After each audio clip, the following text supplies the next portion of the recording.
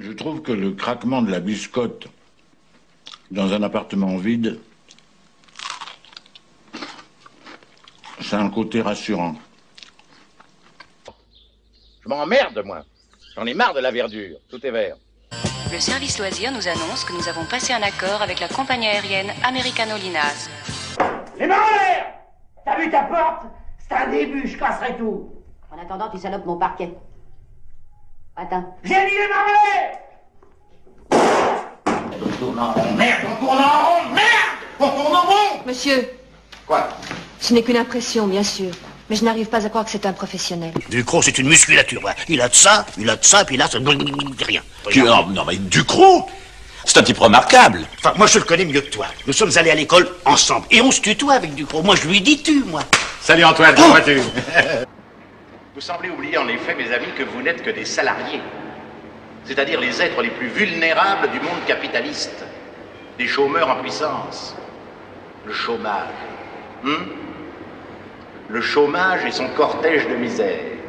Garder à la France son honneur et sa liberté, sa grandeur et sa dignité. Je demande à la nation de garder son sang-froid. Bah quoi, ce vieux fourbi, c'est quand même pas du plutonium Jusqu'ici, on a eu la poisse, c'est tout. Et la poisse, j'en veux plus. Le cri des cormorans le soir sur les joncs. Croix, croix, croix. Sans vouloir vous contrarier, ça c'est plutôt le cri du perroquet bleu du Mato Grosso.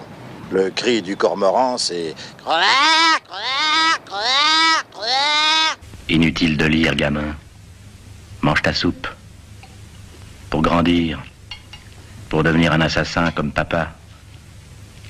Ou alors fous le camp tout de suite. N'attends pas les évasions à heure fixe. Les voyages organisés. Dis donc, il est giron, ton petit sommelier. Ah bah si le cœur tordit, je peux te le bloquer pour la sieste. Oh non, tu vois, c'est drôle, mais j'ai plus de goût à rien. La mort, c'est sérieux.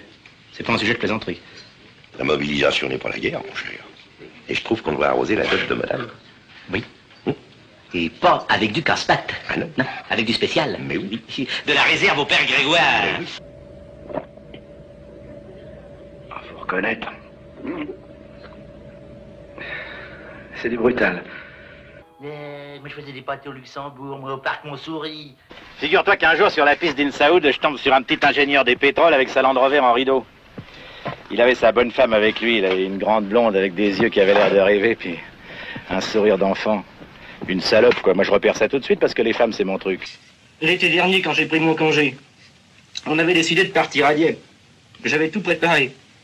J'avais été moi-même chercher les billets à la gare.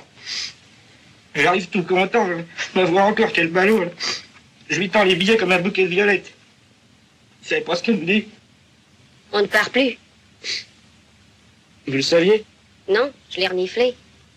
Ah, Ça y est, ça commence. Puis alors moi, les rhumes de cerveau, je les garde pendant trois semaines. Enfin, l'important, c'est que vous vous soyez bien amusés. Simonin Albert, numéro 13. Et ils ont gardé Albert pour la bonne bouche. Puis là, le numéro 13 en plus.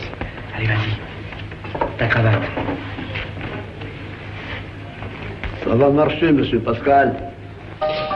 C'est un ennui? Non? Toi, t'as une idée derrière la tête.